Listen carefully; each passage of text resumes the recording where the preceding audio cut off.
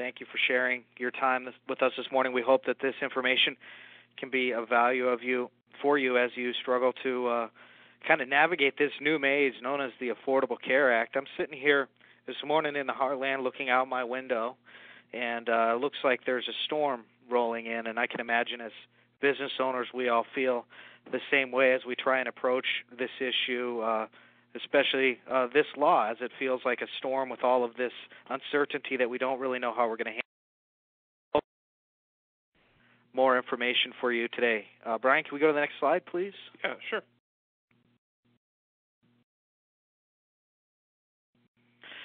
So we wanted to put a little bit uh, about information in in this presentation to, to kick it off, because that's essentially what ED Bellis does. We provide information that's reliable and valuable uh, to people and help them navigate like this, move through the compliance, and uh, we feel that providing people the right information uh, make the best decisions that are needed. Because if you advance to the next slide, uh, you will see that when there is a lack of information, a lot of things start to come up that don't necessarily uh, hold hold any truth, and that's where myths and disinformation and other things come out. And as I deal with how how my job works, I look at how um, 10% of my job breaks down is to uh, essentially clarifying myth, disinformation, and everything, and helping people who are still in the dark uh, figure out these things. And so uh, we, we're glad that you're here. I'm going to hand it over to Brian to get into some of the meat of the things, and then um, we will update. After his remarks, we will update you on the latest developments and then talk about the pay or play analysis, what we're seeing businesses do, and the two thought processes that we believe are most important. So, Brian? Sure. Thanks, Sean. Um, you know, like Sean said, uh, people are still in the dark regarding the uh, the marketplace or exchanges. Uh, those terms are used interchangeably, um, and in the absence of good information, people do have to make things up. Uh, we are just a couple of months away before the exchanges are set to go live, and they are, the cornerstone of the largest uh, public policy uh, change in a generation. Um, and they will change fundamentally uh, a large portion of our uh, economy. Uh, but we are still in the dark due to the lack of information being released by the federal government. I think they are working on a timeline and releasing as much information as they can, but the timelines are are pretty narrow. Um, and carriers also are, are very tight-lipped about uh, the the rates and plan designs and things uh, in the marketplace because of a risk of adverse selection and uh, market-based decisions. So there's a tremendous amount of uncertainty uh, regarding the uh, marketplace's uh, functionality, affordability, sustainability, and efficacy. So uh, the the problem is a lack of information. However, there is enough information for um, businesses to uh, make decisions, and we're going to be going over that today. I always like to say this next slide because of this lack of information. I call it the ACA Bigfoot of American law because more people believe in Bigfoot, haunted houses, or aliens, and believe that this law actually is is a real thing. And uh, a, a key point to remember is beginning next year, everybody in America is going to have to have health insurance uh, due to the individual mandate. The employer mandate was obviously delayed, the enforcement of it for one year, but remember that. Uh, individual insurance will still remo- become prevalent and it's important consideration. Next slide.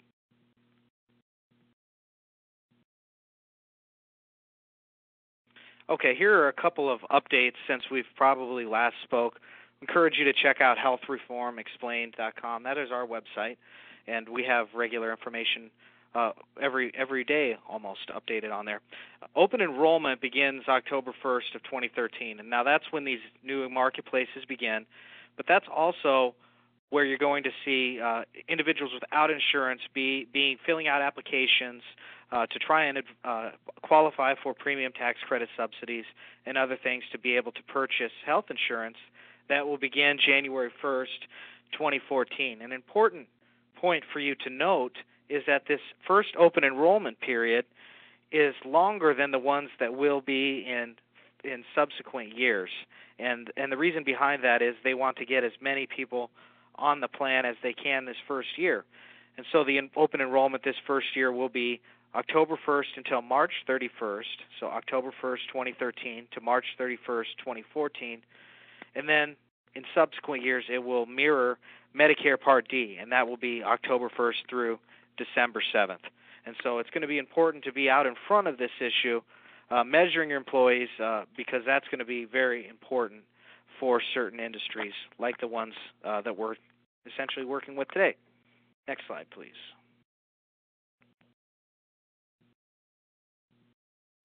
I, I, I spoke to the individual mandate. I think everybody knows, but an, an important point I wanted to bring up is this issue of these advanced premium tax credits.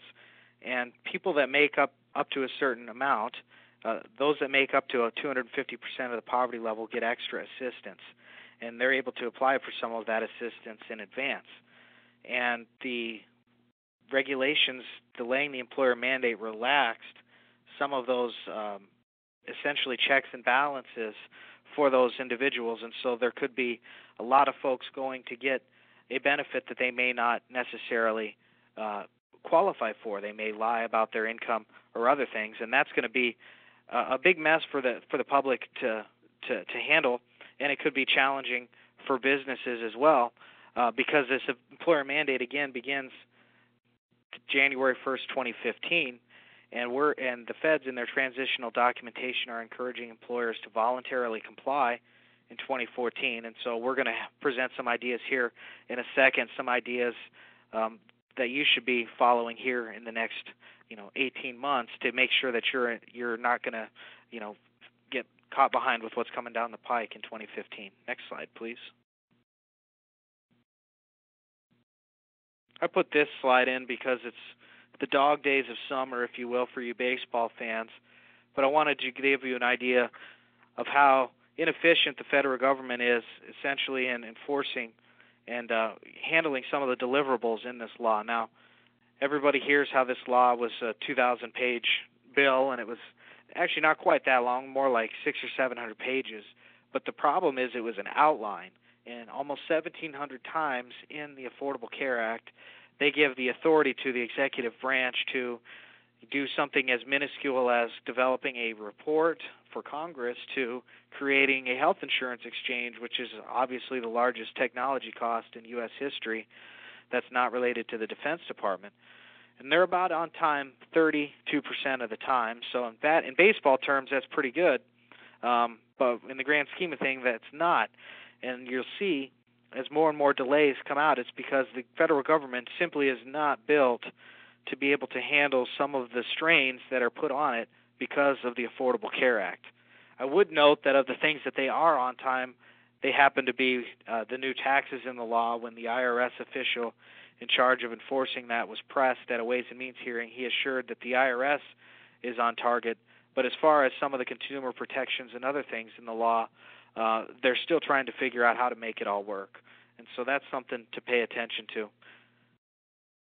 And as we get into this decision crunch time, how do you best make the the decision? And we understand that it's it's completely overwhelming and and you folks go into business because you're passionate what you do and the last thing you want to do is you know struggle with having to learn a, ho- a whole new law but we're here to help you uh, with the rest of the content of this newsletter, and we will be answering your questions uh, very, very shortly. After I, I think Brian, it's your you're up uh, to go through your process as far as the two scenarios, pay or play, how to kind of understand navigating that decision, what you should do when you make that decision, and then how to move forward. So, Brian.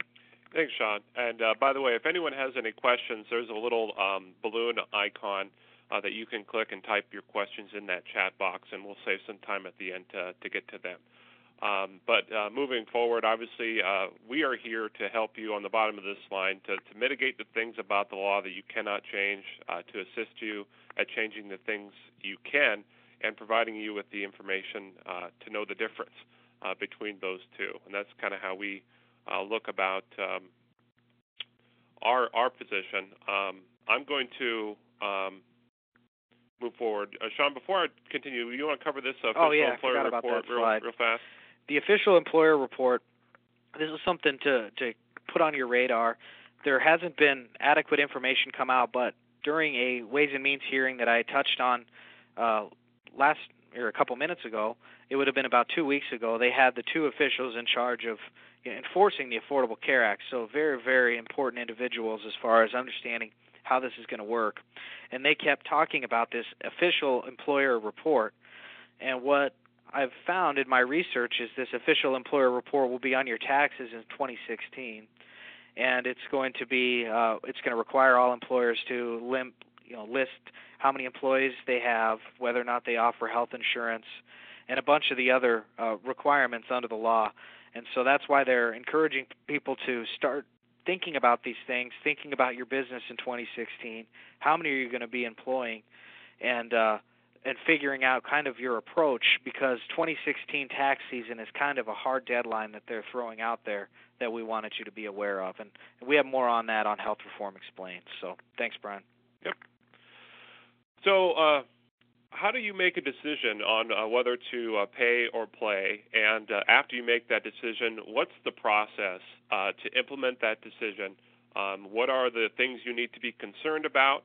Um, and uh, we're going to outline that for you. Uh, so the way the decision, the way we see the decision-making process is the first thing you have to do is get the information you need to make a right decision on whether you are going to either keep or establish a group-based health insurance plan, or uh, send your uh, employees to the marketplace to access coverage uh, through that vehicle. Now, whatever you do decide, uh, employee communication is going to be a huge uh, factor. Obviously, uh, employers are wanting their employees to see that the company cares for them and the company has a vested interest in their health and well being. So, we're going to put that in the bigger picture as far as your human capital management. Uh, whether or not you choose uh, either way, uh, obviously there's going to be some compliance issues. Um, and we're going to go over some of the big ones. Uh, there are some very important things uh, that we need to touch on uh, with that. So that's the process that I'm going to take you through today. And of course, the first is the pay or play. Um, companies of all sizes are going to have to conduct a cost benefit analysis. Uh, what we have found at ED Bellis when we do these, uh, most are not in as bad shape as they anticipated. Um, however, they're going to need a strategy because of changes evolving in the law. Um, the, research that you do now uh, is, is, changing and, and evolving. Uh, right here in the middle here, this is a key one here. A pay or play cost benefit analysis can be completed. It's based on your uh, employer uh, data and your employee demographics combined with a health insurance uh, market study. Um, and it can only be done using your company's specific data. Uh, in, informed decisions can't be made based on what other people are doing or, or anecdotal information. It really is a one on one one measurement of your situation. But again, it is dr- driven by the size of your company, how much your employees make, uh, and the industry and benefit structure that you're, you're in. Um, in some cases, it makes better sense to pay the penalty. Uh, and that is because if your employee's salary is low, uh, the cost of providing affordable coverage, which is the amount that the employer has to subsidize to reach a certain level, is greater than the penalty of uh, not providing coverage at all. So there is a break even point uh, for an employer and also a break even point as far as the employee's premium uh, in the marketplace versus the premium in your group based plan. Uh, so you have to find that break even point. Um, a lot of employees uh, in uh, in blue collar industries and a lot of the industries that we're we're working with are actually almost better served in the marketplace because of subsidies, and then also. Uh, if their income falls below 250%, they also receive help with their out-of-pocket costs. Uh, and this is how it looks in the marketplace. So, uh, if you're under 133% of federal poverty or 100% uh, of uh, poverty in our state of Nebraska, uh, because we did not expand Medicaid, but some states have, you can receive help through that program. and up to 250%, you get advanced premium tax credit and cost sharing reductions to help you with your out of pocket costs. And those are scaled uh, to the point where when you reach 400% of federal poverty level, which is um, over 90,000 uh, for a family of four, then you pay the full cost of insurance, and that's the marketplace in a nutshell. So once you've made that decision, uh, what does it look like, and what strategies and um, considerations should you be looking at? So let's cover first if you're going to pay the penalty. Uh, if you do decide to send your employees to the marketplace, the, the main strategy that's going to be in play is to minimize uh, the penalties uh, that you are going to pay, which is $2,000 per employee per year.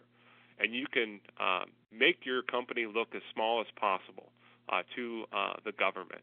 And there's no one one golden uh, arrow as far as to to make your company appear small. It is uh, many uh, small areas that need to be addressed.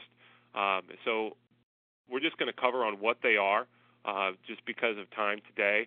Uh, but there is plenty of information, like Sean said, uh, on our website, and uh, feel free to, to contact us, and we can provide you with a little bit more information. The first is establishing the right look-back period. Uh, that's basically the measurement period of when the government's going to hold up their yardstick uh, to measure how many employees you have. Uh, the next is to onboard employees as variable or part time. Uh, you can actually, uh, depending on the attrition in your industry, uh, significantly reduce uh, the size of your company in terms of the law by establishing a long variable initial measurement period. You can use temporary employees. You can use part-time employees. Um, it's unfortunate, of course, that so many companies had to reduce their employees' hours to under 30 uh, and then the then the mandate was delayed for yet another year, and they had made a, a pretty hard uh, business decision as, as far as uh, human resources that uh, that ended up not not paying off in the end. Uh, but that is going to be a strategy uh, moving forward. There are multiple other strategies that are out there uh, that take a little bit more uh, care and due diligence because there are compliance issues. Uh, that is with 1099s, uh, with leased employees and employee sharing. Um, those can be used, uh, but they have to be used within uh, the confines of uh, the regulations and the law. So that's if you send your employees to the marketplace, your major considerations. But what if you decide to play along? Well, play along, we mean establish a group based plan. Uh, well, employers uh, are going to be operating in, in, in, a new environment in 2014. Um, a, a, lot of employers have already received their, their renewals uh, already, uh, but uh, they're a lot of them are going to see the renewals that they've received right now are based on their current uh, market functions.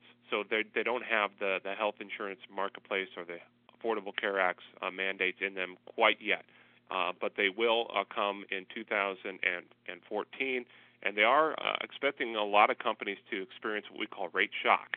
Uh, that is because right now, if you are healthy or young or um, a, a male-dominated workforce, uh, then you're actually getting credit uh, for all those uh, aspects. Uh, but that's going to go away because the uh, companies will be subject to a community rating. Um, it's under 50 uh, now, and then it will be uh, under 100 employees uh, here later on. Uh, there will be several new mandates and taxes. You can also, if you're a small employer, choose to participate through a shop exchange. That is going to be a market-based uh, uh, type plan. Um, and if you do decide to, to go to the shop exchange, you actually receive you can receive a premium uh, tax uh, or t- tax credit as an employer. Uh, so you could actually receive a, a credit um, based on how how big your company is and how many employees that you have. Um, if you do offer group-based uh, coverage, of course, you do get a pretty good tax advantage because they are made uh, with pre-tax dollars. Uh, however, in the marketplace or exchange, all premiums and penalties are made with after-tax dollars, so you have to uh, talk to your CPA about that. This is the marketplace reforms in a nutshell. Uh, these are why kind of uh, premiums are going to be going up for some people and, and down for others. Uh, there won't be any uh, premium rating or denials based on health status or gender uh, and there will be really big limits on how much you can charge an, an older person compared to a younger person at a at a rate factor of one to three. Um, there will be a single uh, risk pool, so there won't be any uh, advantage for being a, a healthier group. Uh, we're all going to be put in one uh, basic uh, demographic, one pool that's going to be based on location. Uh, depending on your state, it may be different. It may be a city or a, a zip code or, or something like that, but it will be based just simply on your location. And that coverage is going to be guaranteed uh, to be available and uh, guaranteed uh, to be uh, kept and renewed with Uh, well, it says limited exceptions, but that's really only if you move out of the area. So that's if you play along uh, with the Affordable Care Act. But there is another option of playing by yourself, because uh, some people, I guess, don't uh, play well with others, and that is uh, talking about uh, self-insurance. Um, there has been a dramatic rise, uh, in some places, a 6,000% increase in the percentage of employers that are using a self-insured business model over the past 12 years. What that means is that the employer actually is responsible for some of the claims uh, costs, and you can limit that based on uh, different kind of insurance programs. Um, but it's it's not a premium only plan. So you are combining a, a premium for like a, a stop loss uh, combined with uh, some claim exposure. Um, it can be uh, designed to look pretty much exactly like a fully insured plan, um, but uh, it, what it does is allows you to avoid the community rating. So with all those marketplace reforms that uh, we talked about, uh, if you are self-insured, uh, you can you can bypass them.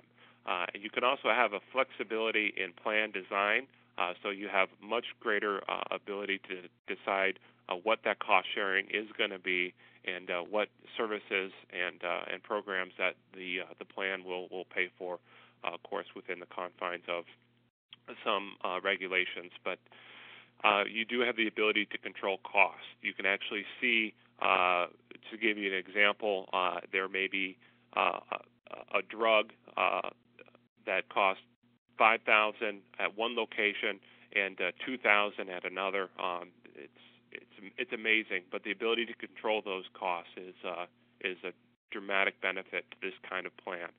Um, the other thing is uh, reform actually makes self-insurance more attractive to some employers uh, because uh, what they'll be able to do is when they're healthy, uh, they can self-insure and take advantage of that uh, that good claim experience. But if something happens and, and they're no longer healthy or they're, they're getting some high claims, they can just transition back into uh, the community rating plan at will. Uh, so it removes actually some of the barriers that small companies had to self-funding because they have a way out uh, without having to, to be to be hit really hard on a premium rate up uh, when they do so. Um, so those are some of the, the basic options, uh, the pay or play options, and what your concerns uh, are with those. However, no matter what you decide, uh, obviously it's an employee-based uh, decision, and how your employees uh, respond to it and how it's communicated is going to go a long way to whether it's successful or not. Uh, and we know that as an employer, we have a vested interest in the health and well-being of our employees.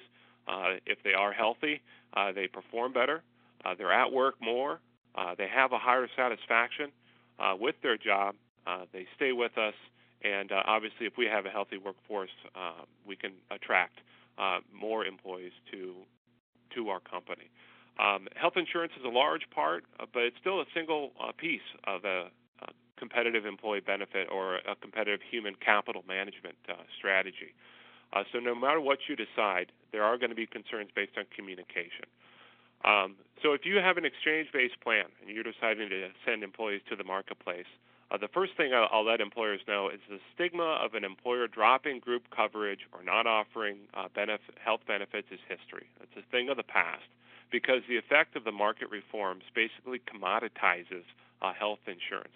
What it means is there's no longer a risk of dropping coverage and your employees uh, being denied coverage for a pre-existing condition. There's no risk of dropping coverage and having them uh, wait uh, a, waiting period uh, before uh, a service is covered. There's no risk of unaffordable coverage. Uh, the whole market has changed. However, this fact needs to be effectively communicated. if it's not, of course, the employees can can have a general understanding that well, you know, my company doesn't offer benefits, so they must not um, invest in, in their employees or, or care uh, about my health and well-being, which could be the absolute opposite uh, case, and, and is the opposite case in, in, in most cases, but um, communication is the key. Uh, so, in order to maintain a productive and engaged workforce, uh, we're going to need to ensure that employees under this type of model don't miss an open enrollment or a special enrollment opportunity. Sean said uh, earlier what the enrollment period is going to be initially. There's multiple uh, communication points uh, during that period and during other life events uh, and things like that that are going to have to be monitored by an employer. Employers need to help uh, employees choose a plan that meets their needs.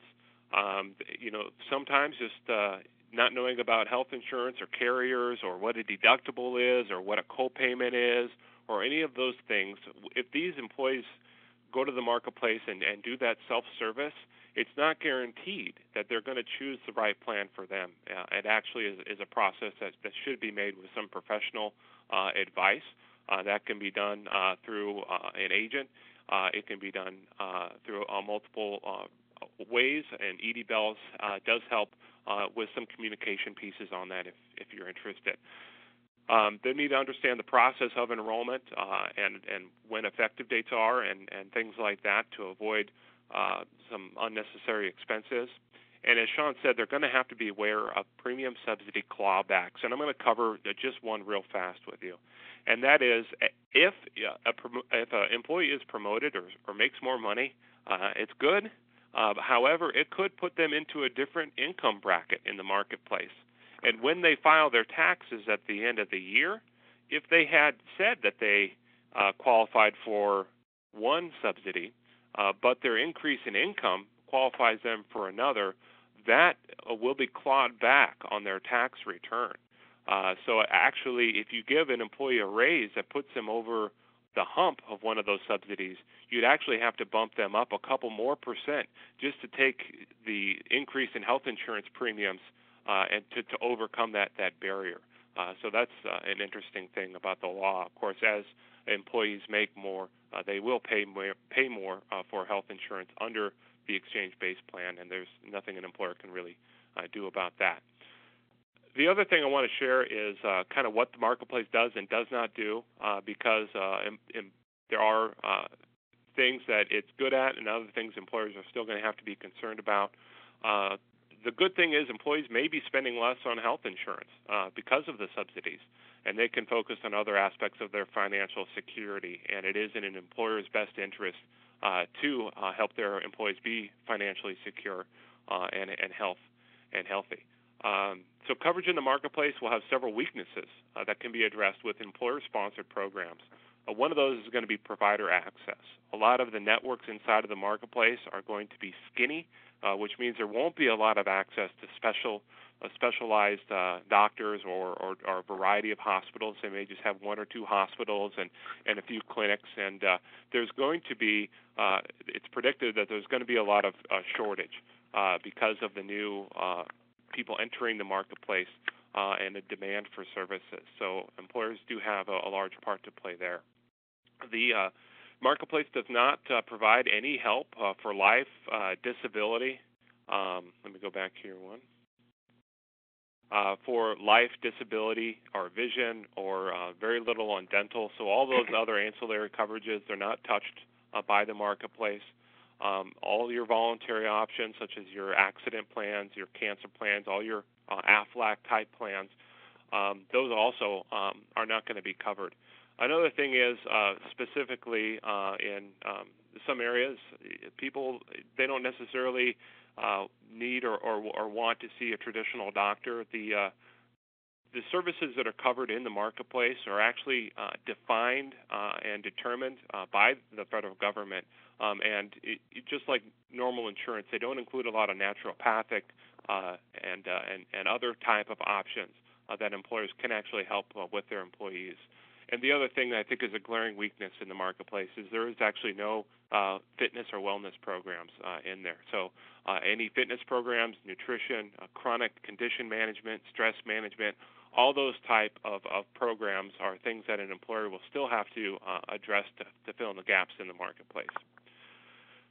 So if you do have an employer-based plan uh, where you are keeping group-based coverage, uh, we, you need to first of all be avail- be uh, aware uh, that offering an employee that type of coverage does remove their eligibility uh, for a subsidy in the marketplace. So it does kind of uh, drive them back onto your group plan. Um, however, even if you cover your employees, the decision for that employee's de- dependents could be drastically different. I know um, it just uh, came out. Uh, I know the UPS uh, did it, and now a lot of other large companies, really large companies, are removing spousal coverage uh, from their employer-based coverage and saying uh, that spouses are going to have to um, find uh, coverage elsewhere, and that is actually because of health care reform. Uh, it has uh, removed uh, a spouse uh, as a, a dependent, so a spouse is no longer considered uh, a, de- a dependent under a lot of insurance plans. Um, the other thing is, all those other family members may be able to receive exchange subsidies. So if you say, um, I'm not covering your spouse, uh, that may give that spouse uh, an eligibility for subsidy in the marketplace. Um, employers need to be prepared on how to answer questions from employees who shopped on the exchange. Um, there are going to be some different conversations in regards to employees uh, seeking coverage for their spouses and dependents and, and where they go and how much it costs and what the employer can do with that. So we need to be prepared uh, with some good uh, communication on, on that point. Now we're going to cover uh, some some key things here, um, and uh, specifically uh, with compliance, uh, there is a stepped up push by the federal government to enforce compliance as a means of funding the law. So um, it's it is it is a measurable increase uh, and it is it is purposeful. So we're going to cover uh, some of the compliance concerns on on both type of plants. Um, so if all employers, first of all, have to issue a marketplace notification to employees by October 1st, it's really simple actually. Uh, and on the uh, Department of Labor's website, uh, you can download uh, that form and and provide that to employees. There is going to be compliance concerns for all employers who have to show uh, reporting requirements, but that has been delayed. Uh, you may notice uh, that that is a trend. Uh, the non-discrimination penalties uh, were delayed. No one really talks about them anymore because they're actually delayed uh, soon after the bill was passed. However, there is a lot of um, a lot of people out there that, that are that are hearing things and that see um, this as you know, going into effect sooner rather than later. And uh, the reason why I bring it up now to you is just so that you can be aware uh, to make some advance uh, changes in your benefit program uh, in preparation for these penalties because the penalties are, are pretty high.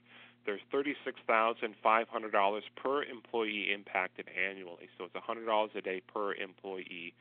Uh, what the non discrimination uh, rules are is you have to offer all full-time employees the same coverage at the same premium.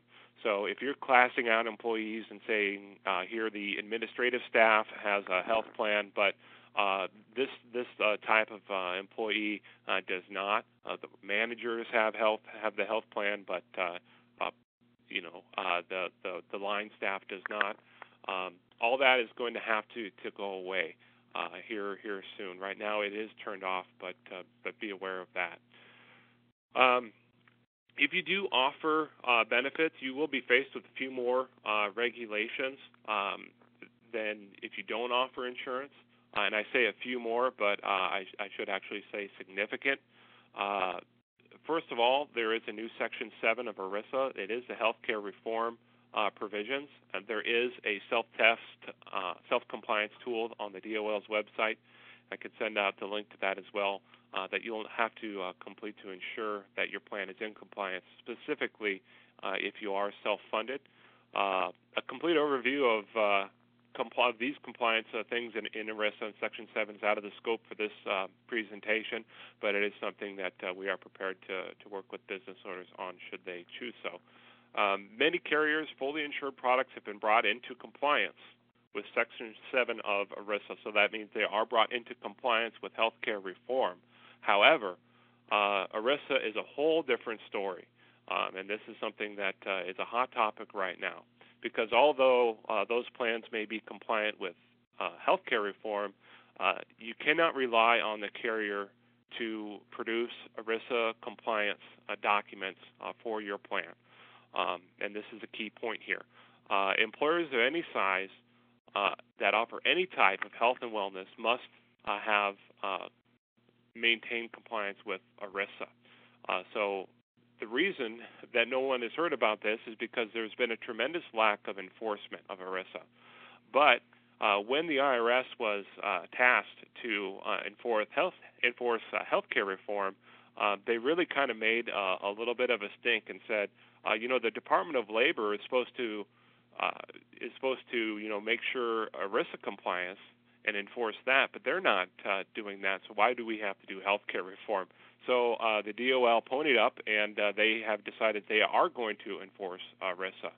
So right now, uh, there's not a lot of um, talk about it for small employers, but uh, actually, um, it's it's coming. Uh, 95% of all employers are found to be out of compliance with this law, and the Department of Labor is dramatically increasing the number of compliance audits. Uh, they are committed to, committed to auditing every employer by 2018. Uh, they've opened up new regional office, offices and hired uh, 3,000 new agents. Um, some of the states where the DOL is already fully staffed are going to be first in line, such as California and Texas. Um, and audits are being initiate, initiated via email with no further notification before penalties start to accrue, which is 10 days. Um, so I do have some uh, some more information on this. It's something that uh, we need to. Every employer that offers a plan is going to have to do. Um, it's it's not extremely costly to do so, um, but it, it must be done. Okay, kind of finishing up the the, the rest of the presentation here uh, for my part. Um, this is uh, actually pulled off of healthcare.gov. Uh, it's a useful site to go to if you want to look at your first look at the marketplace. Um, and it kind of goes what the employees are going to see, where they create account, apply, uh, pick a plan, and uh, enroll. It's going to be a pretty easy uh, process, I, w- I would I would think. Uh, however, they are going to have to be prepared with a number of documents. Uh, on that site, healthcare.gov, there is this marketplace application checklist that may be handy to, to give to employees. It shows them all the information that they will need um, and then shows them down here. Um, obviously, there's just a little bit of information about the employee, but the government wants to know a lot of information about the employer down here and uh, what uh, type of plan uh, that is being uh, offered. So that may be your first taste of what what it's gonna what it's gonna look look like. Um, moving on uh, here, I will turn it back over to, to Sean and uh, let him uh, complete uh, some of the timelines and things that you should be thinking about uh, and questions to ask your broker and uh, some um, mistakes to avoid. All right, thanks, Brian. Great job covering a lot of ground this morning. And let's get into some key dates that I'd like you to be aware of as a business. And this is coming from the transitional relief documentation that the government released after the the pay or play delay, as I call it, and we're still waiting the uh, the final uh, documentation. But the, this three three page documentation kind of gives us an idea of these key dates that I want you to be aware of. And obviously, number one is October 1st, 2013, and I think we've touched on that several times here today. That's when these new marketplaces are supposed to begin. It's the kind of the D-Day uh, for the Affordable Care Act. If they're going to make this thing happen, um, they're going to have to have this thing at least open on October 1st. And so that is really when you're going to see more and more employees start to pay attention. Um, you're seeing a lot of promotional efforts uh, all over the country. Uh, some people are wondering if it's going to be called Oprah Care because she's putting her firepower uh, behind it.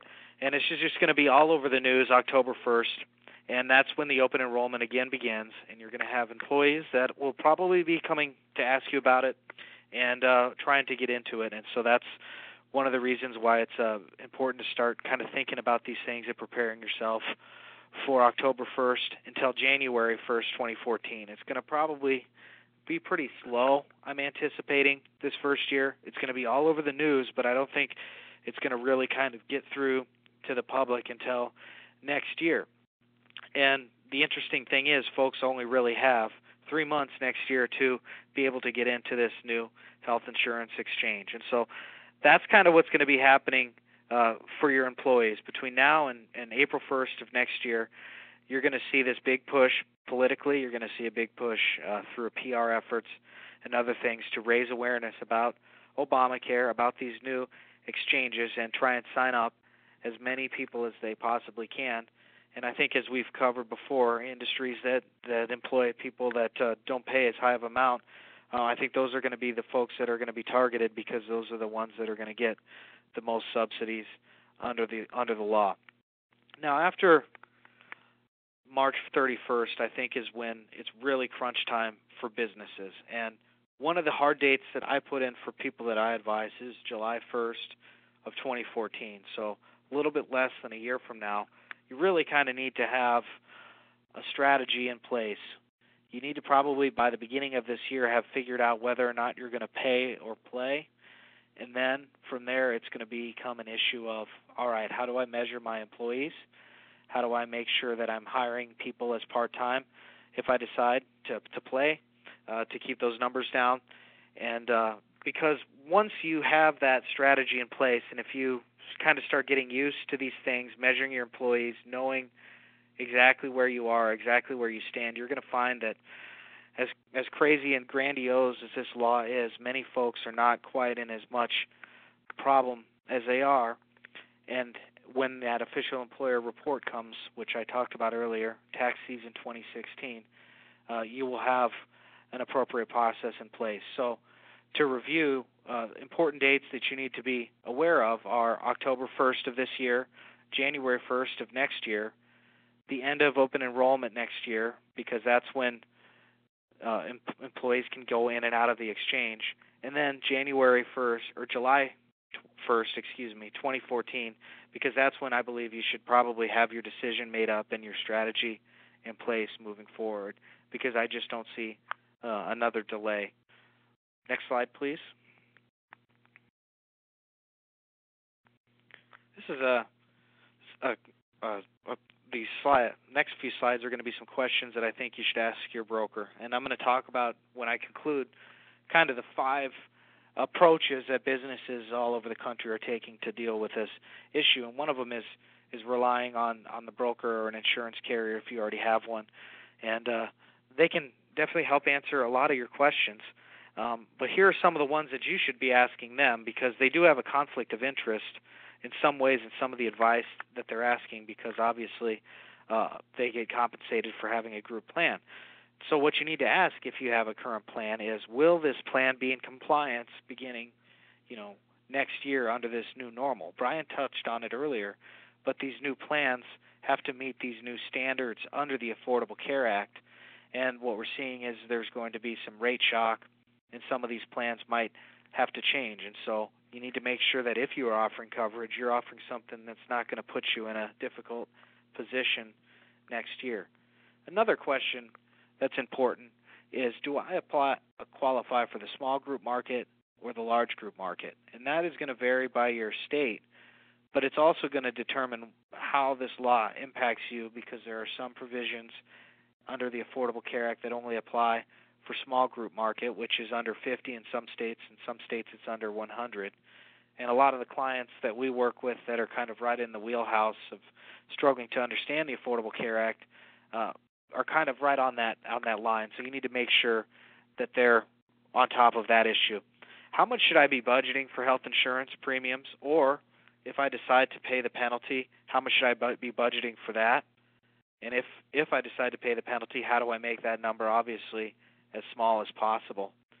One of the things that's important to know is the age banding. Brian touched on it earlier. Is going to have an impact. So if you employ a younger workforce, you could see premiums go up disproportionately. And if you employ a uh, an older workforce, you might actually see them stay the same, but you should have an idea, and your broker should have an idea on how that's going to play out for you. Next question. Next slide, please.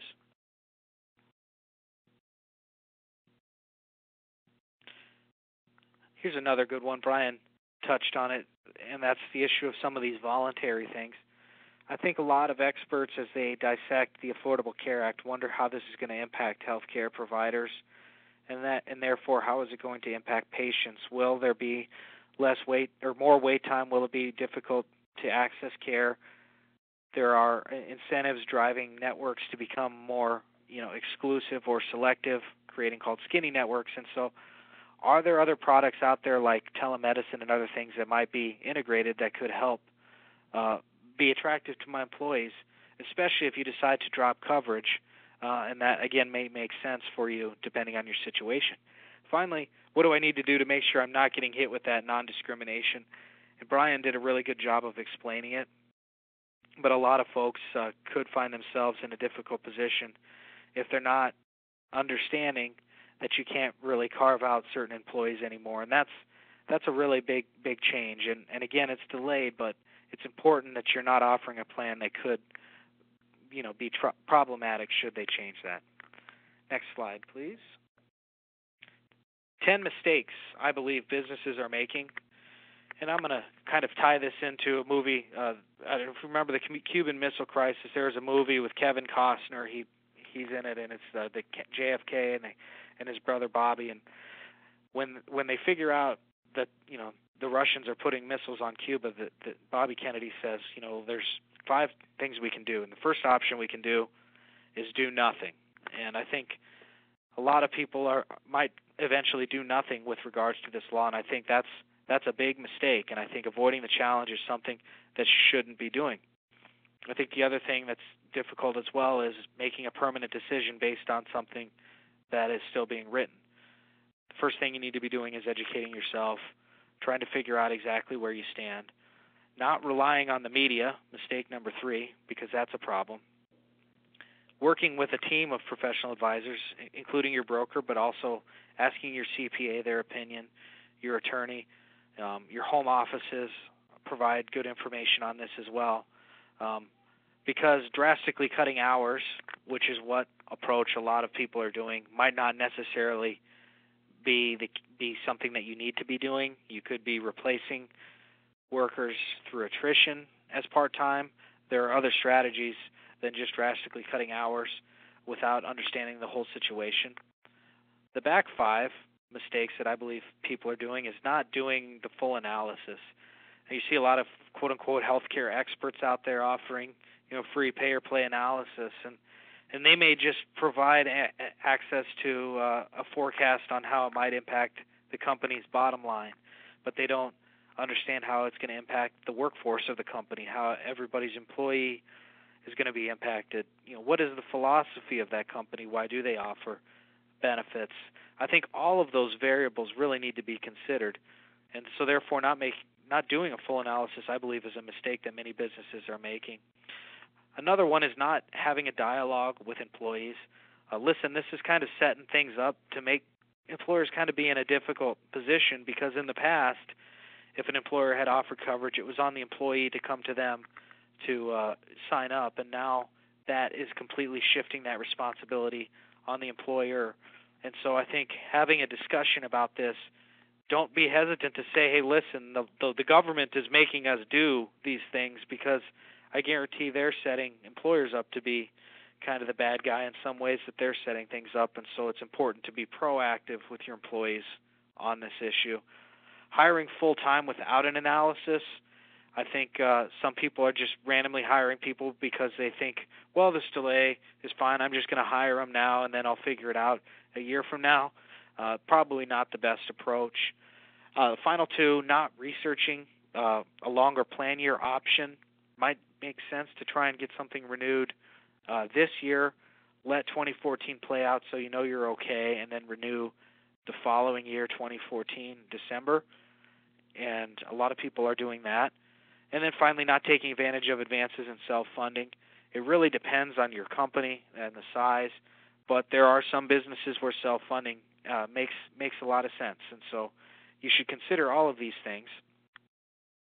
And you should also consider, finally, I'm almost done, and we'll get to your questions, which I see we have three or four. Uh, educating your employees to be better healthcare consumers.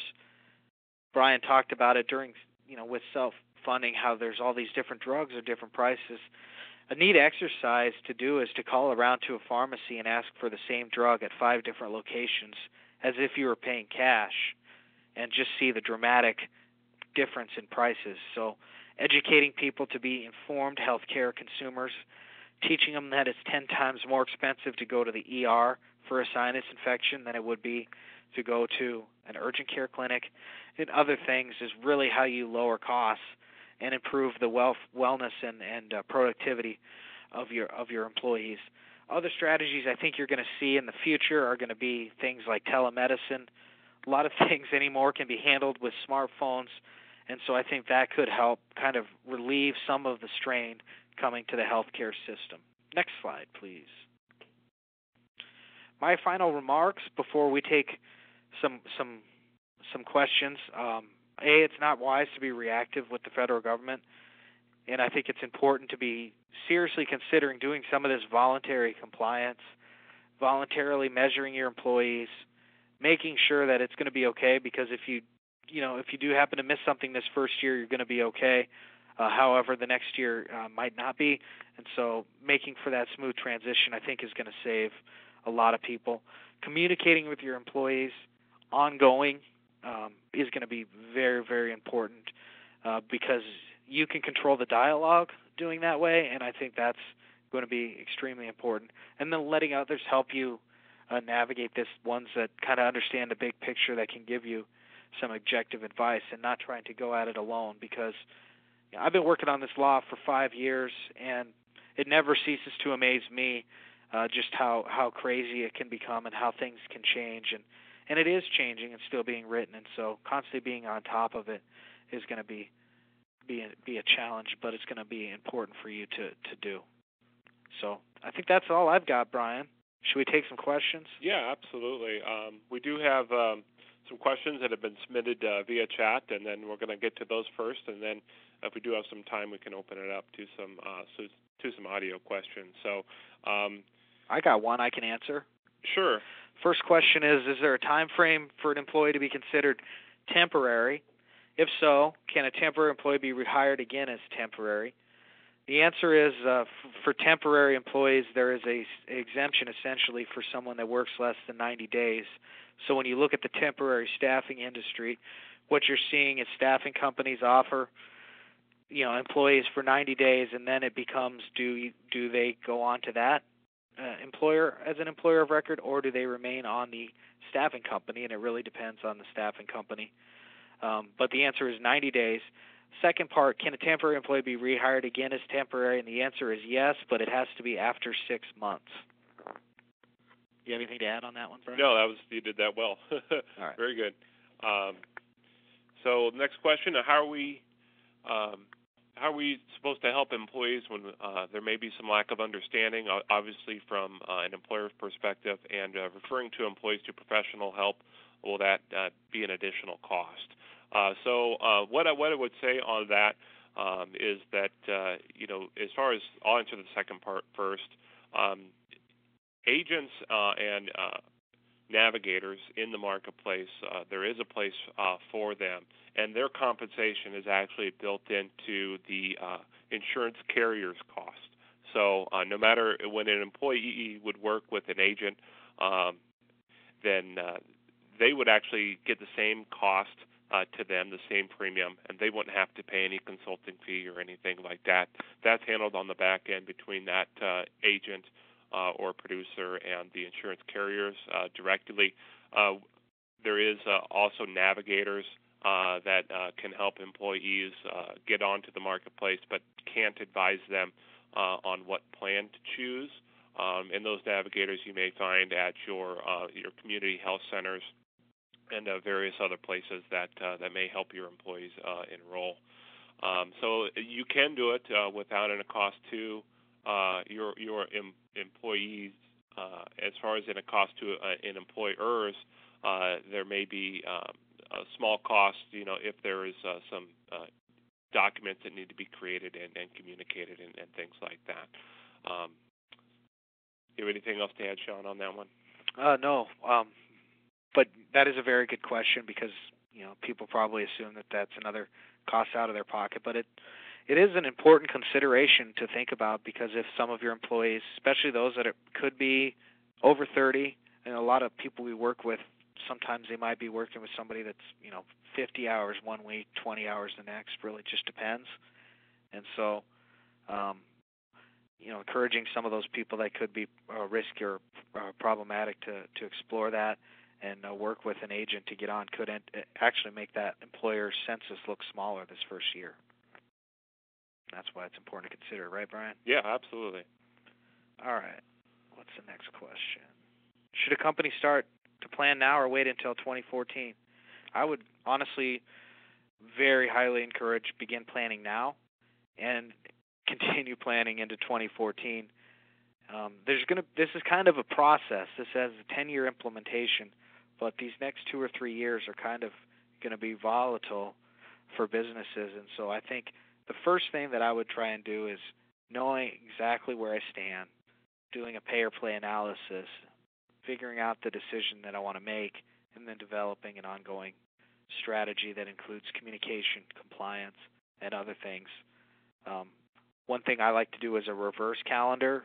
So if official employer report is 2016, start setting some deadlines. You know, moving back from then. I'm going to have my measurement strategy in place this date. I'm going to have my decision made up on this date, etc. Um, don't wait. So should a company start a plan now or wait till 2014? That's a tough one to to answer uh, without the the specifics. Um, but some, so the answer would probably be yes or no, uh, in my uh, opinion, uh, depending on uh, the demographics of of that employer. Uh, in general, the reason to establish a plan right now uh, is if your company is at risk of rate shock. So if you have healthy, uh, younger male employees it may actually be a financial benefit to you to start a plan now that can run you longer uh, into 2014 rather than wait until 2014 and establish a plan that may be based on community rating. Um, and that's uh, a, a, short answer to that, uh, but it, it, it does get kind of complex depending on employer's specific situation. And I'll go right into the next one here. Uh, an employee that has a, an amount designated as insurance in his paycheck um, it, that can be problematic. Uh, I know right now some employers are giving employees uh, an amount to go ahead and go buy individual insurance uh, on uh, an individual plan rather than a group plan, and they're using a Section 125 uh, to do so. But that is going away in 2014. So um, for health insurance specifically, uh, it is problematic to to to, to put that uh, in there. Obviously, if you're over 500, uh, if you're over a certain amount of employees, you're going to have to put what you actually do contribute towards uh, towards insurance. But uh, because there's no tax advantage to do so, um, maybe this employee is doing it uh, based on an arrangement, uh, a family situation, or, or something like that, and that may be a different story, but should be uh, should be looked into. So. Um, if we don't have 50 employees, do, are we required to comply with the notification deadline of October 1st? Uh, the answer to that is yes. Um, all employers uh, need to provide uh, that that document. Um, if if you don't if you don't provide insurance, it's very uh, it's very simple. If you do, it's a little bit more complex, but but uh, still pretty easy. So everyone should do that. Um, it's important not just because it's the law, because it's compliance, but also um, I think uh, employers do have a responsibility uh, to provide that notice to employees so employees know where they stand and when they go to um, to the marketplace to, to sign up, the information provided in that document is going to be very useful to them, um, and uh, that's what uh, they're going to need to know. Uh, so it's a good thing for, for all employers to do, um, and uh, I think it's good for their employees as well maybe we can send it out with this presentation. Sure. Yeah. So then they they just have to mail it to their employees, right? Or hand it to them? Uh, yeah, uh, it, it needs to be distributed in uh, in a way that's determined uh, to uh, have a reasonable expectation of reaching uh, every single employee. So um, a lot of times work through the payroll company. Yeah, is the uh, safest way. Yeah, there, there's there's uh, there's lots of considerations there. Uh, it can be done uh, electronically if every single uh, of your employees uh, needs a computer to, to do their job. If not, um, you're going to have to rely on some other uh, means of, of doing so. Uh, payroll uh, is uh, is the most popular. Cool. Uh, so uh, that concludes uh, the um, the type comments. I open it up if anyone does have a question. Hopefully, don't get a lot of back uh, back noise here, but uh, just open it up for a minute, and if anyone has a question, go ahead and shoot. Uh, if not, uh, we'll go ahead and uh, close uh, the presentation. There's one more that popped up, Brian. Okay, one more question. About the notification, are two, there are two options. One if they provide insurance, and one if we don't. Right? Obviously. Yes. Um, so, say this person doesn't presently have a plan in place, but intent, but might intend to. Which one do they have to send out? They would want to send out the one that they uh, intend to do. Um, so you're going to have to have a you're going to want to make that decision uh, for employees by uh, October 1st. Uh, so uh, it would be you you would communicate Yes, I uh, you earlier. the plan or option that you will have in force effective January 1st. Yeah. So uh, that would be the date. So it'd be based on that that, that the date of the plan that you will have at that time. At January 1st, 2014. hmm So if they were going to wait until 2015, then they would just do the one that they're not offering Okay.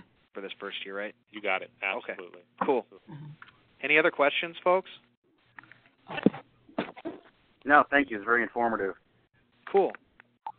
Well, we hope uh, You're hope you visit our website, Health Reform Explained, and um, you know, we will send a follow up with this uh, webinar and uh, those notifications and anything else. Brian, do you have any final thoughts? Oh, thank you for uh, attending, and uh, we will um, be doing a future webinar, so uh, be be looking for them, uh, and uh, we'll uh, keep you informed. Cool. Thanks, everybody. Have a good day. Thank you.